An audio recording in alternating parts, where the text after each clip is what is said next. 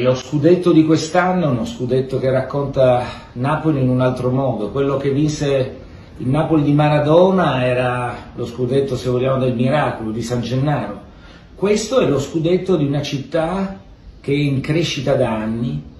col suo popolo che non è solo più il popolo etichettato in un certo modo, ma che ha costruito una realtà totalmente diversa dove la gente arriva da tutto il mondo per visitare la città e ha una squadra che ha imparato dalle grandi squadre del nord a fare business, e questo bisogna di grazia dei Laurentiis, e a lanciare il nome del Napoli